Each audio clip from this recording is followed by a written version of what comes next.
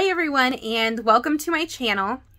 My name is Lisa and I'm so excited to share with you today our second grade homeschool curriculum that we have been using this year. Um, we actually have been using the same curriculum for five years now. We use Memoria Press Classical Christian Curriculum. And um, so my second grader, he's gone through the kindergarten and the first grade, and now we are in the second. So if you want to see the videos where I shared the things that we like about the kindergarten and the first grade, um, go check those out.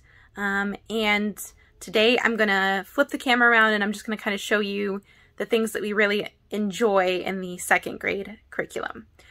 But if you do want to see a more in-depth video on exactly what is in the second grade curriculum for Memoria Press, then you can go on their website and she has an amazing um, an amazing uh, video where she goes through exactly everything that is in the kit.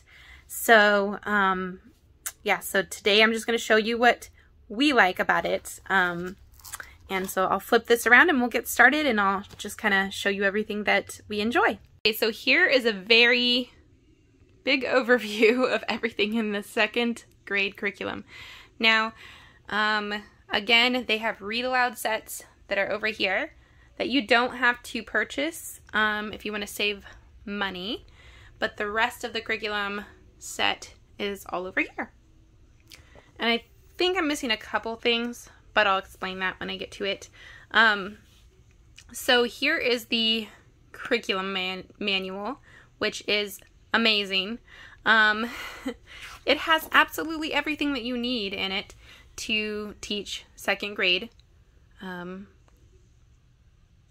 classically to your child. So um, it, it gives you a great checklist here. It says stop, and then you can go through and make sure you have all of your books in the box um, just to double check.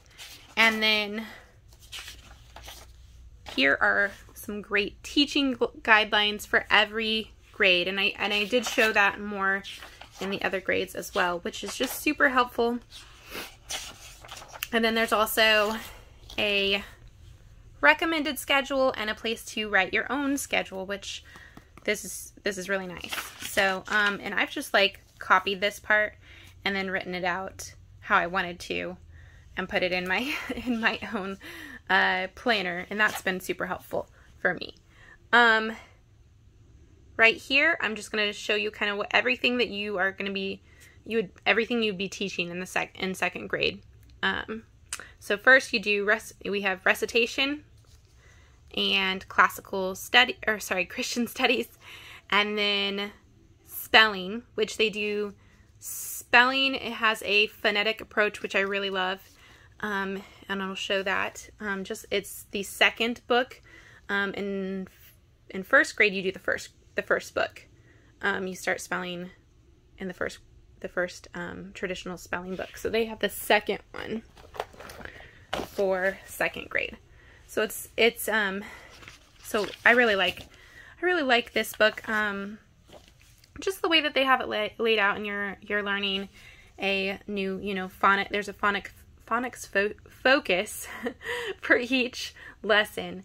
Um so that is super super um helpful and um, it continues them learning that those phonics um, sounds that they need to. Um, and there's usually so there's um there's there's activities for each day. Um, you go over the definitions, you go over sight words, and then um, again you'll be you they would write down their words each day. They would say and then spell and then say them with you, which is super um, helpful. And then there's a practice test and a um, the main test at the end of the week. So um, that's kind of the spelling there.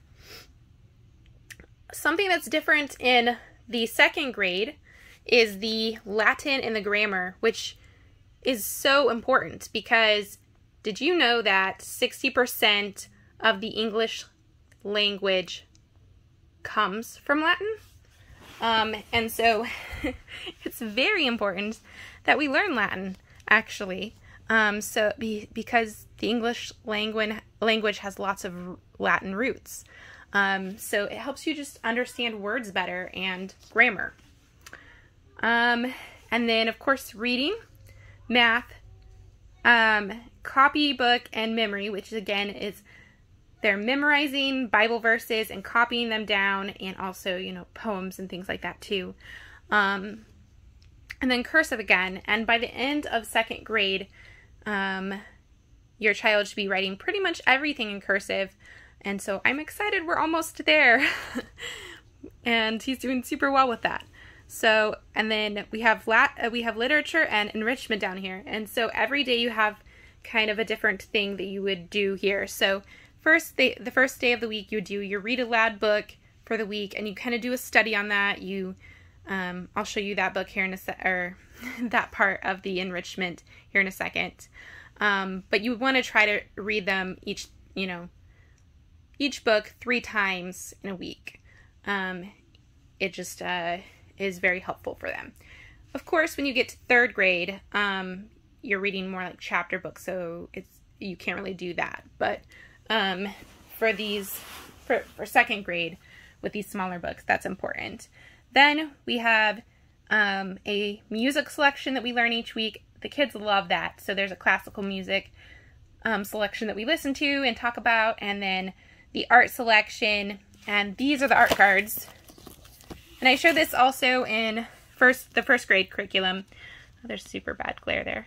Sorry about that. Um, but because I laminated them. And that is really nice because the kids love to just flip through them and then I put them, you know, on this ring here. So they get to look through them. And then on the back, of course, it has the um, a little bit of information there about um, the art selection.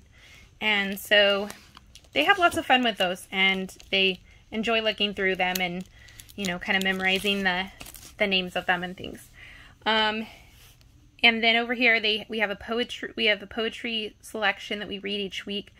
And usually we like to do uh, like tea and treats during that time.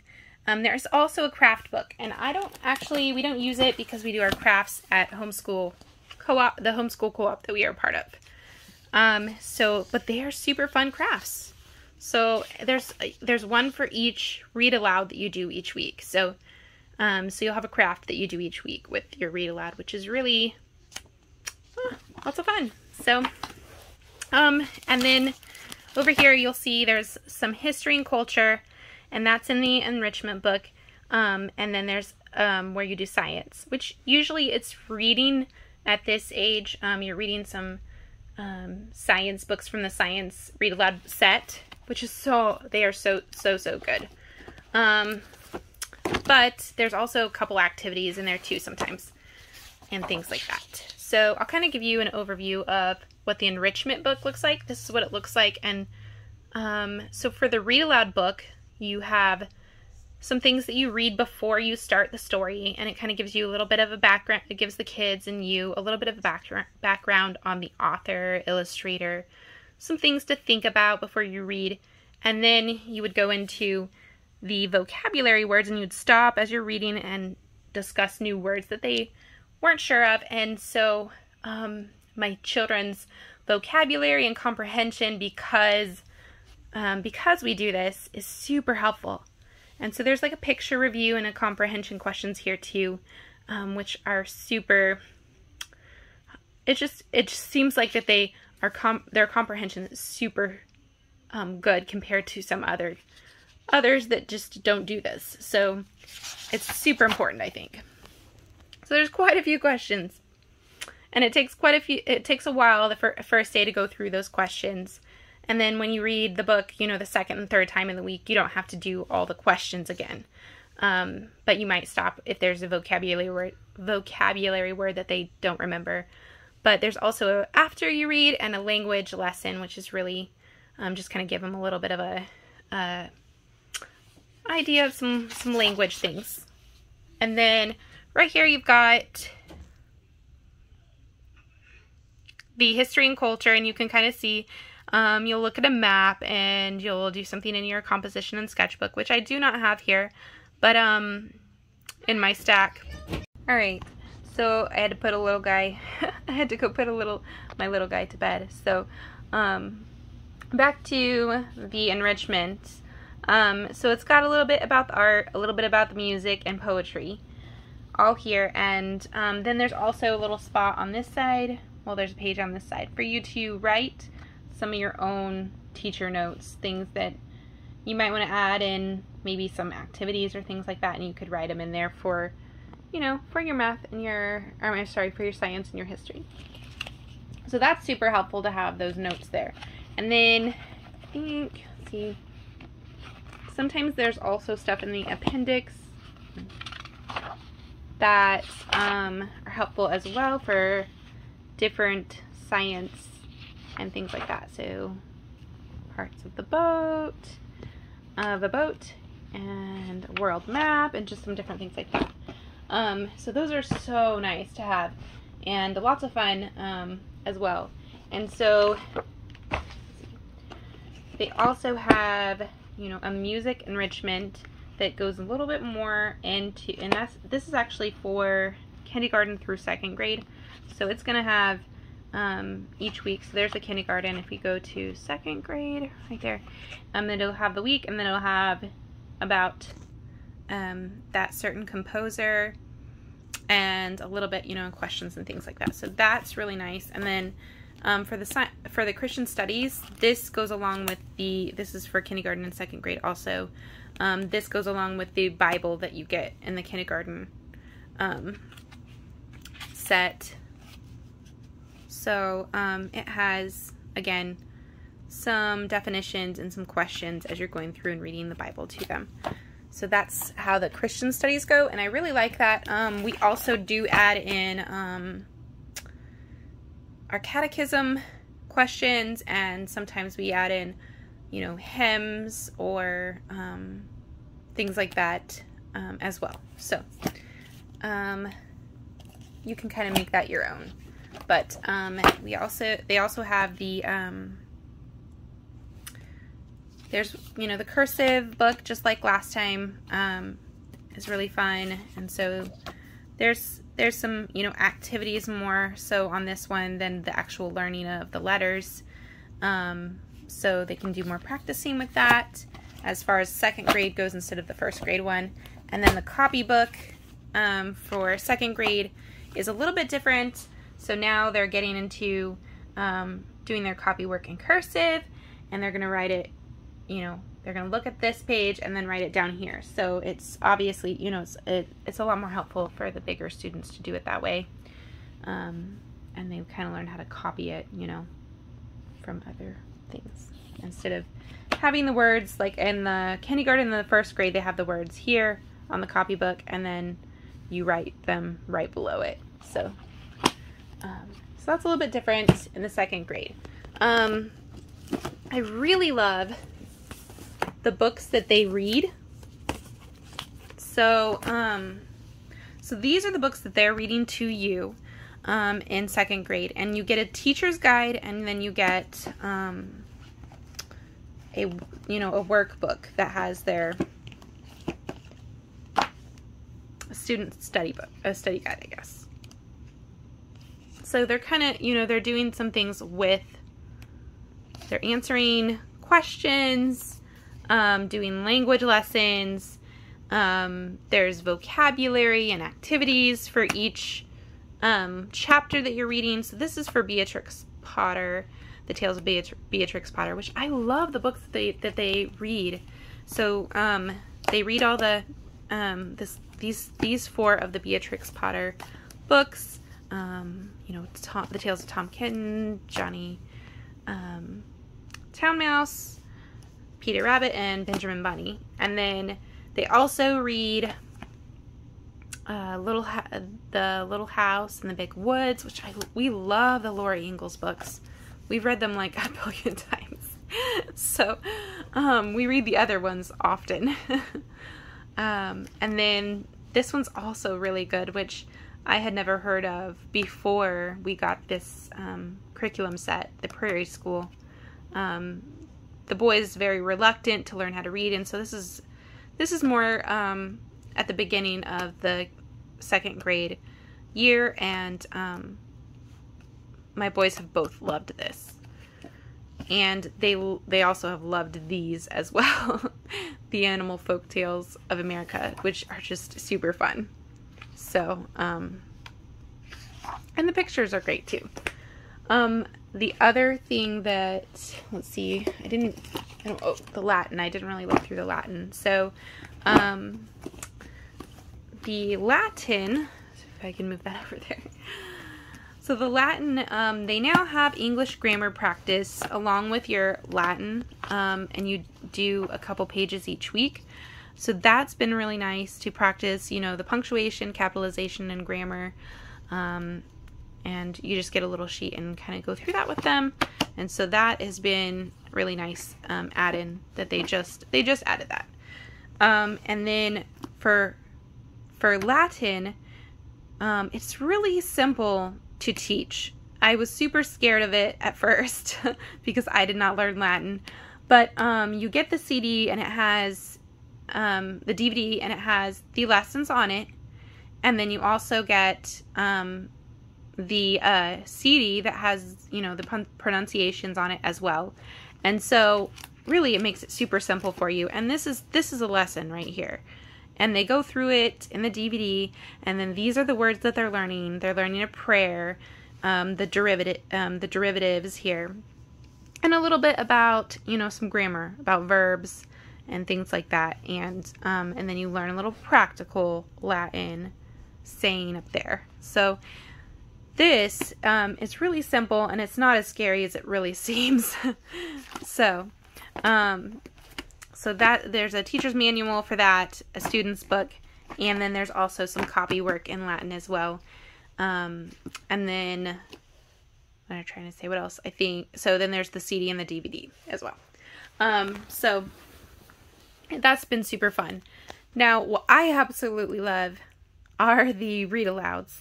And so um, they're just oh they're just they're just great books and everybody you know, all my kids just love sitting around and reading them. Um, so there's the Saint Valentine um, is one of them. Um, the Ant and Elephant.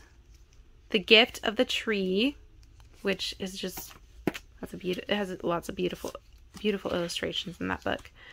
Um, Verdi, I think that's how you pronounce it. Um, the Easter Egg.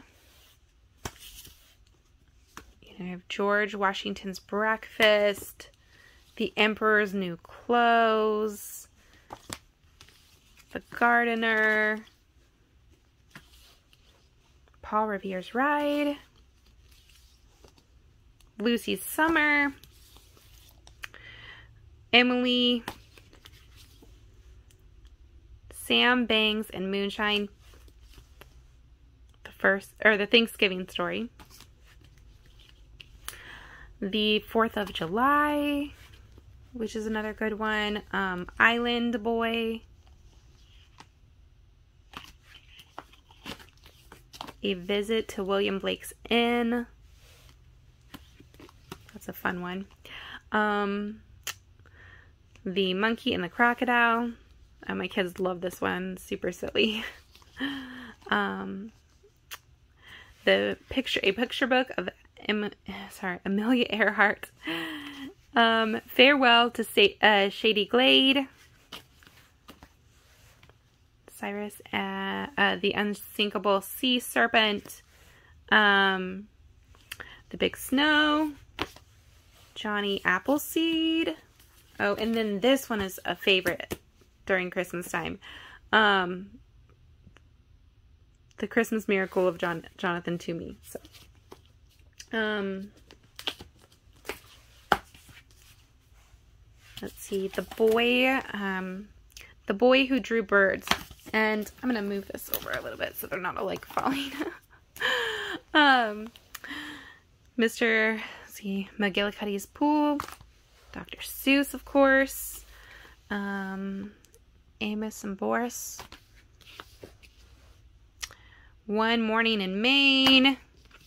Wee Gillis, the five Chinese brothers,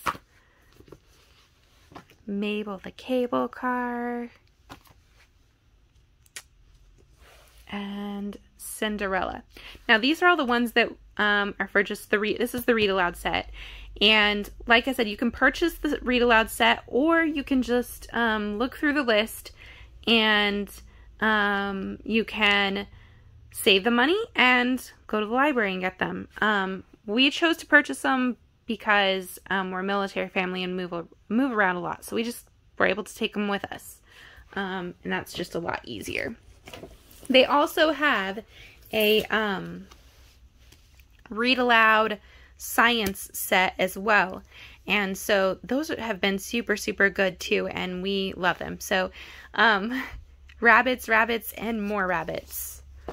And this one is horses. Um, so we just, we get to learn about so much in these books. Um, the sky is full of stars. Um, this one is not in this set, actually. I just added it in there um, because I saw it and it's another one of the Dr. Seuss books that they normally use in this set, so somehow it got in the stack. Um, so one vote, two votes, I vote, you vote. So um, that's a good one too. You should add that one to your set.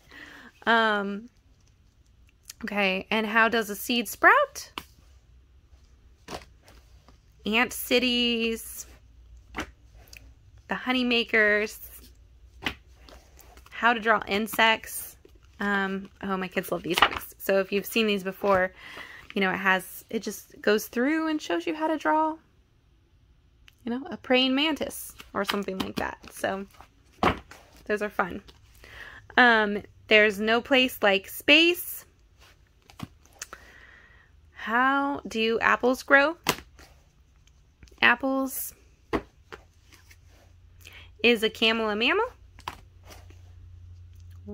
The Great Migration, um, Whales. B is for bagpipes. A Scotland alphabet. That's super fun. Um, monkeys. Clam I am. D is for democracy. Oceans. Earthquakes. Snakes. Rocks and minerals. Let's go rock collecting and lungs. So that is everything. and um, like I said, that is one of my favorite things about, I mean, all the sets is just the classical literature is super, super fun and everybody enjoys it. Um, I think we've enjoyed pretty much every book um, that they've either read or I've read to them um, in this curriculum. So um, that is absolute, absolutely our favorite. Um, go ahead and like this video if you enjoyed um, learning about the um, Memoria Press classical curriculum that we use. And um, if you have any questions, go ahead and you know feel free to leave them in the comments, or um, or if you have you have books that you really enjoyed in second grade, go ahead and um, tell me about the those, or you know, leave the titles in the comments, and um, that'll be fun. Just um,